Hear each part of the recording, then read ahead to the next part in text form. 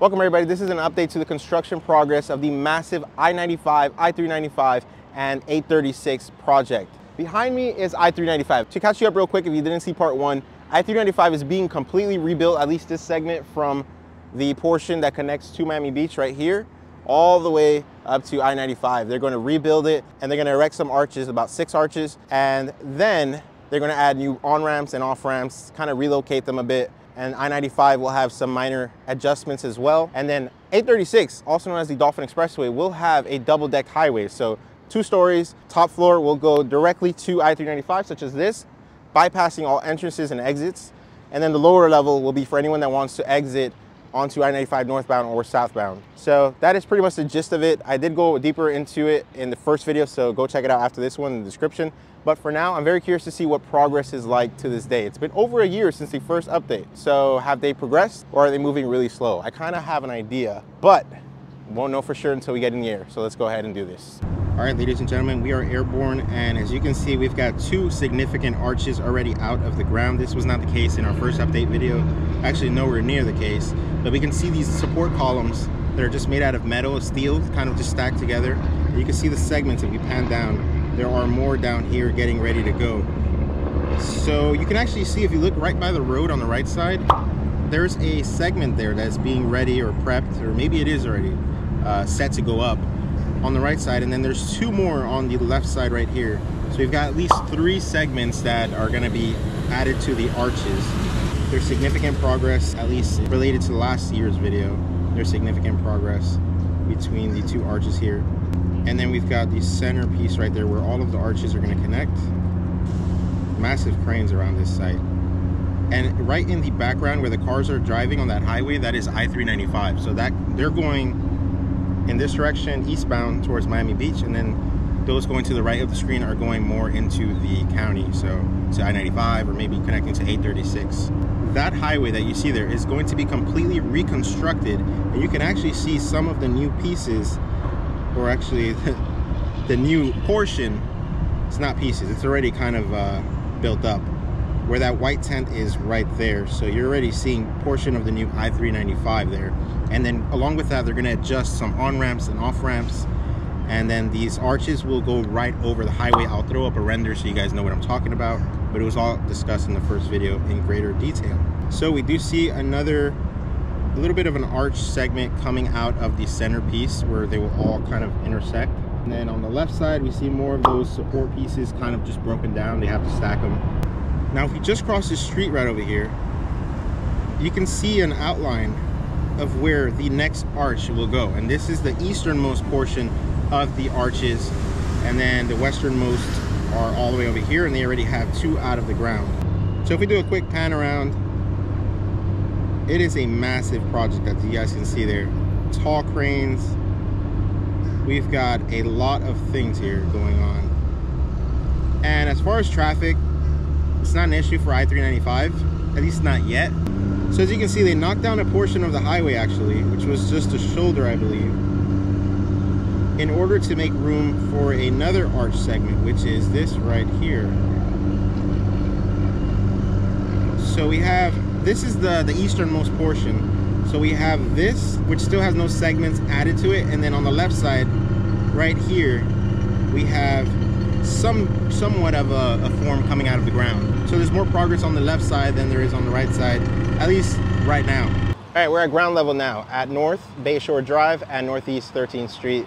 This was open in our first video. It is currently closed because they are utilizing that extra space for the I-395 portion. A lot of heavy machinery, heavy trucks, cement trucks also going around. And we can see what we saw from above. The easternmost arch is currently underway. And then we obviously can't see it from here, but there is the outline of another arch that will be starting up hopefully soon. So we are in front of one of many segments that they use to support the arches as they're going up. Look at that, it is massive. This is just one piece. Now, if we go over here, don't mind the no trespassing sign. We're not gonna trespass. We can see two segments that are used for the arches being prepped right now. There's wood going across and there's uh, two workers just there at the bottom inside of one. Wow. And these segments, I'm not sure which will get it first, maybe one each, will go to these arches right here. And then as they get higher and higher, they move to support. And the centerpiece as well is getting some arch pieces. You can see right there on the right side. Not seeing much on the left just yet, but we can see the rebar coming out of it. And of course, all of these pieces just scattered around, going to be used at some point in the project. Okay, I've circled the block and wow, look at this. This is one of the segments for the arches, just up close. They got a piece of wood just going through it. Looks like some rebar coming out of both sides. You can see the holes there that they match up with the rebar. You can't see it from here, but it's coming out. And then they just kind of connect them like that. So there's three currently being prepped. I'm not sure which arch will get it, maybe one each. We see one here, one here, and then one over there at the centerpiece. If we kind of just walk through here, we can see inside of that centerpiece right there. So I don't know exactly what's gonna go in there, but there's a bunch of workers actively working inside there. And I'm noticing a couple of holes, so maybe that will be filled at some point. But right behind us, actually let's cross the street. I wanna get directly beneath, as close as possible to these arches. All right, we're directly beneath one of the arches each segment, as I showed you guys, has to be prepped before they can be added. And you can see where each segment kind of connects there. And then the giant support column right beneath both of them. I've gone further west of the tallest arches to show you guys the new I-395 segment that's being rebuilt. And the old one is down there. So this will be much taller and underneath will be a linear park that will span uh, a great distance, a couple of blocks all the way to Biscayne Boulevard. But for now, it just stops right here, just shy of the westernmost arches here in downtown Miami. All right, we're going directly beneath the new I-395, which you can see it is much taller. You can compare it to the current one just right over there. This is massive. The construction workers have a basketball hoop right there, you know, a little downtime, enjoying yourself because they will be here through at least 2027 at least for the most part. So while the workers you saw are handling the arches and the segments, now that we're underneath the new I-395 overpass, we can see that there are also workers over here handling this side of the construction project. It's all hands on deck for this. Current I-395 where you see the cars going down and new I-395 where you can see there's some incomplete portions right there. That's where it cuts off. And then on this side, it just cuts off right over there. All right, we are on North Miami Avenue, Northeast 13th Street, where we see another massive tent, similar to the one we saw on top of the overpass. And this is I-395, one of the new segments they're constructing. You can see the other tent I just mentioned right now. But if we walk over here, something interesting. For those of you familiar with this area, they're shifting the on and off ramps to different streets and here is one of the ramps. It's currently closed, obviously, they're still working on the highway. But you can see this massive ramp that is already going pretty well. And then the old dingy I-395 over here, or the current one at least. But it looks old, it's showing its age. It's very low to the ground versus this. A little taller. I have found where they are storing the highway pieces. There are so many of them just getting ready to be attached. Look at that. Dozens and dozens.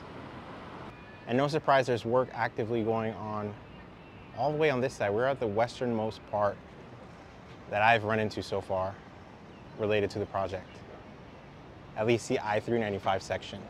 Now we're heading directly westbound to connect to the 836 and get the double deck highway. So we're gonna get some aerials of that and then I don't think we'll see much from the ground, but if we do, I'll get it on camera for you guys and share my thoughts because I haven't been here in over a year. I don't know how it is progressing and I'm super curious to see how things are going.